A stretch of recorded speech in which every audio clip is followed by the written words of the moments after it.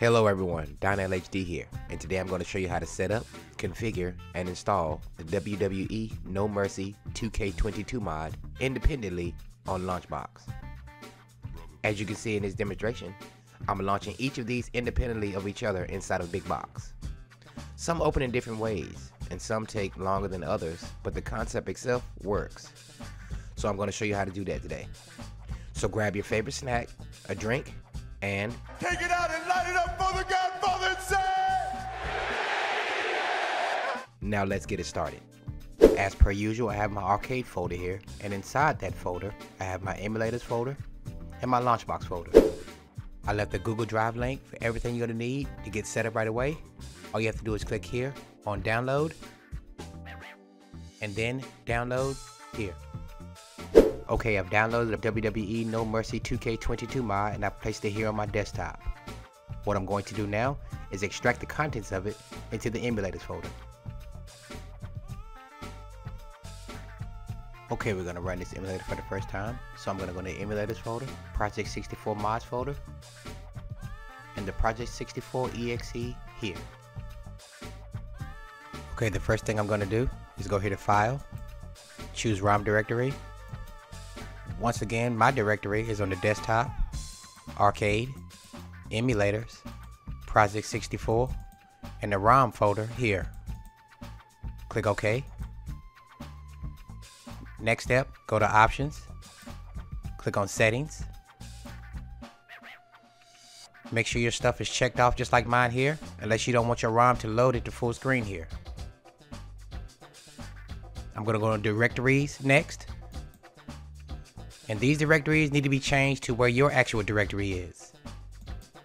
Once again, my directory is on the desktop, Arcade, Emulators, Project 64, and the plugin folder here. The next one is the saves, desktop, arcade, emulators, Project 64, save,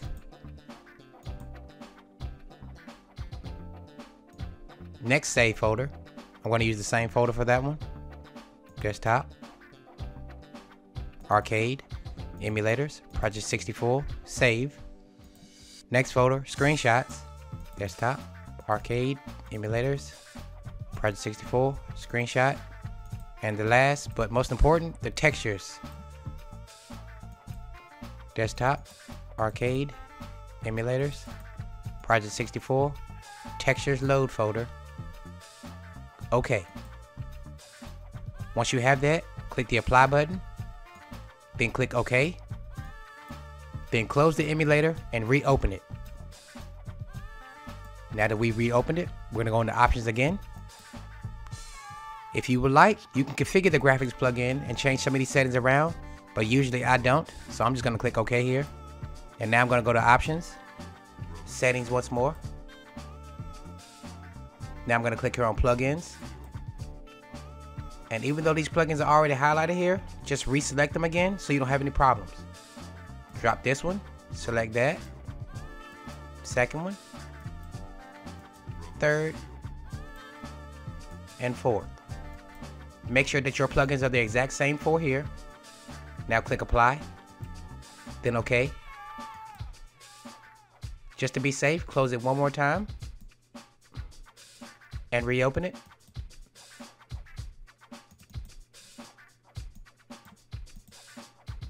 Then I'm go to options, configure controller plugin.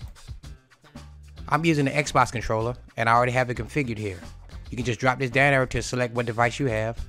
Make sure you have this checked off and then configure it by pressing these buttons here.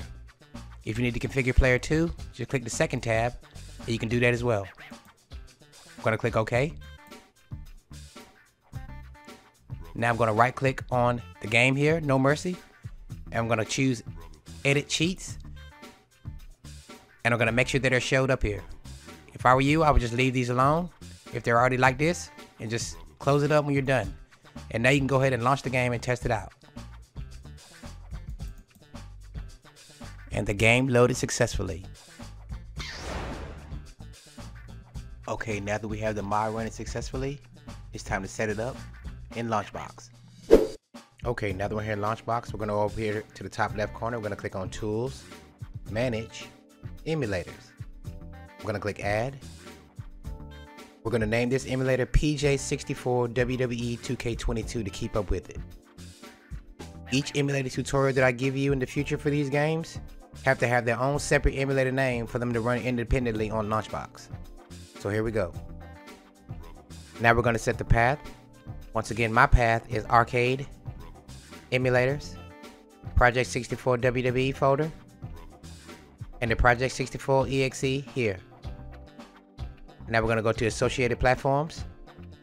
And whichever category that you want your ROMs to fall in, you will put it here. So if you wanted to go to its own WWE No Mercy Mods category, then you will put that here. But in my case here, I'm gonna put Nintendo 64.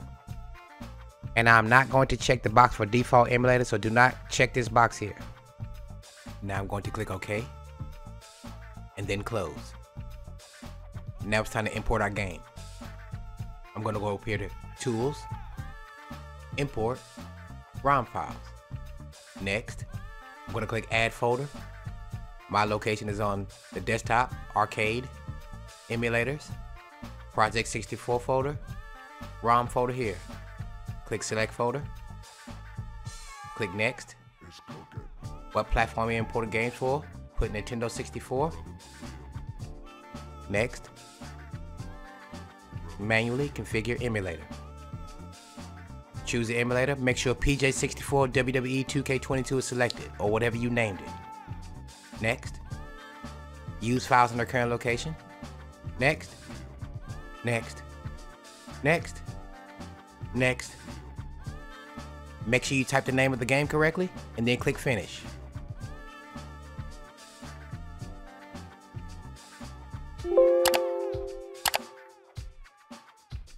Okay, this particular game was not in the Launchbox game database, so I added my own artwork and logos.